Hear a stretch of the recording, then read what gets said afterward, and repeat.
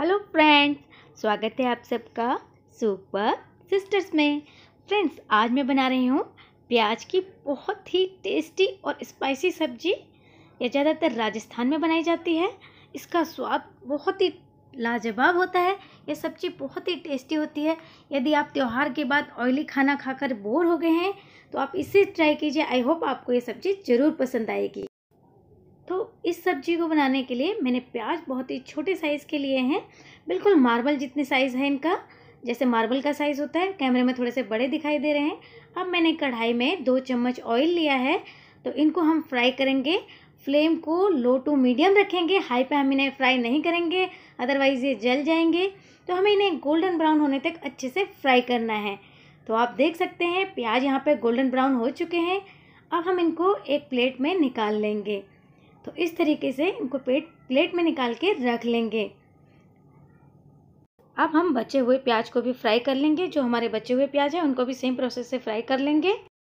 तो चलिए, अब मसाला तैयार कर लेते हैं। मसाले में मैंने लिया है दो चम्मच धनिया, आधा चम्मच काली मिर्च, दो इंच दालचीनी, चार पाँच लौंग और एक चम्मच जीरा। और पंद्रह बीस लहसुन की कलियाँ हैं, ये छोटी साइज़ की कलियाँ हैं और दो दो टमाटर जिनको मैंने रफली चॉप कर लिया है तो इन सबको हम मिक्सर ग्राइंडर में पीस लेंगे। तो मसाला हमारा रेडी हो चुका है, पीसा हुआ।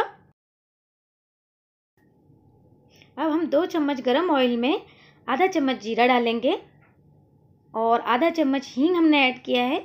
हींग का जो है, टेस्ट इस सब्ज़ी में बहुत अच्छा आता है। आधा चम्मच हल्दी एक चम्मच लाल मिर्च और जो हमने टमाटर पीसे थे और उसके साथ सारे स्पाइसेस ऐड किए थे, वो हमने इसमें डाल दिया है।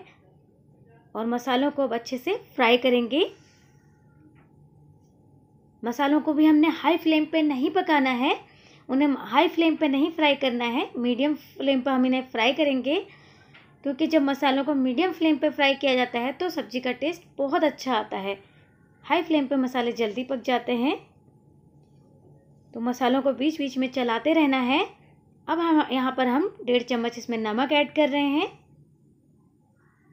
नमक, मिर्च आप अपने टेस्ट के अकॉर्डिंग ऐड कर सकते हैं। आप तीखा खाना पसंद करते हैं तो तीखा बनाइए, अदरवाइज़ थोड़ा सा मिर्च को कम कर सकते हैं। तो मसालों को हम बीच बीच में चलाते रहेंगे। मसालों को हम तब तक फ्राई करेंगे जब तक कि मसाले अच्छे से ऑयल ना छोड़ दें।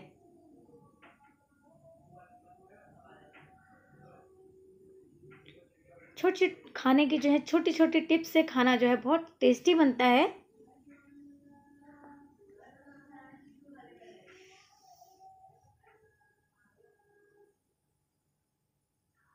यदि खाने में मन लगाकर खाना बनाया जाए और प्यार से खाना बनाया जाए तो खाने का स्वाद जो है, कई गुना ज़्यादा बेहतर बनता है। अब हम यहाँ पे आधा गिलास पानी ऐड करेंगे। और मसालों को इसमें अच्छे से मिक्स करेंगे।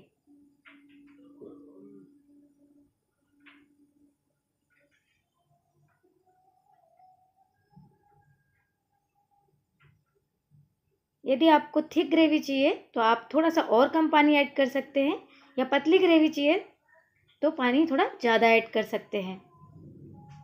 तो पानी में उबाल आ गया है, अब हम यहाँ पे प्याज ऐड करेंगे।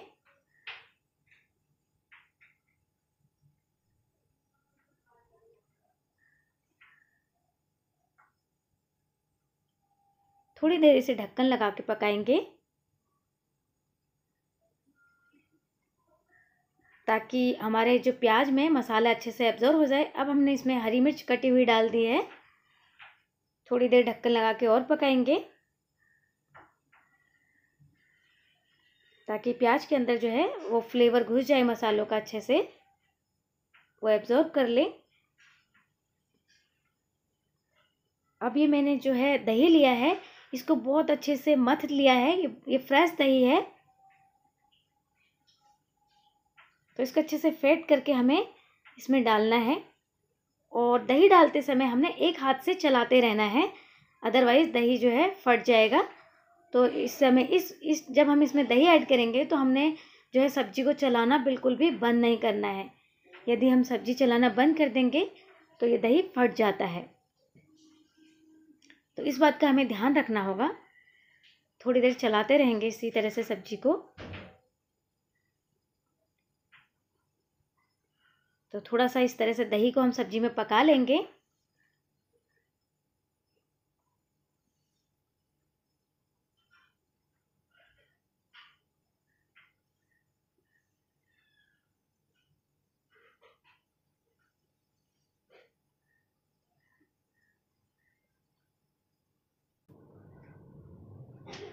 अब सब्ज़ी हमारी जो है रेडी हो चुकी है।